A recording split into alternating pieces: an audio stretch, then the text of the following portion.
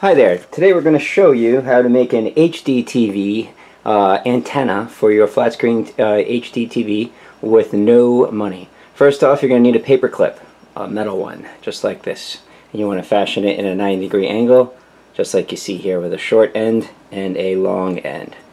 Then the other thing that you want to do is go into your TV menu because most likely your TV coaxial cable line is set for cable. So you want to go into the menu and go down to wherever your TV setup is.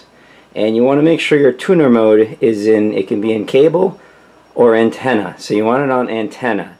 So you go ahead and set that in antenna so that, that way you're all set.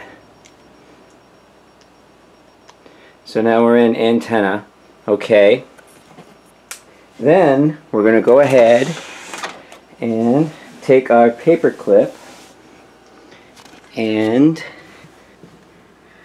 we're going to insert it into this coaxial cable line right like that. Just insert it slowly.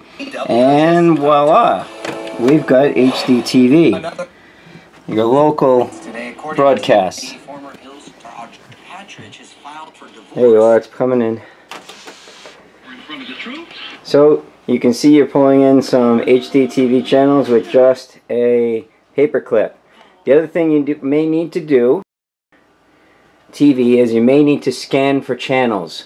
So if you have, if you're not, if you get a an alert that says no signal, just go and find. It will probably um, opt, opt you to scan. So you want to go ahead and do that, and it will pull in all the local channels that it can find.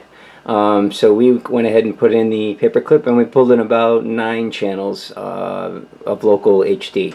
Um, so that's one way you can do it for very little money as opposed to buying one of the ones that for on sale on Amazon which may pull in more channels but for no money, a paper clip, there you go, free HD TV. Thanks for watching.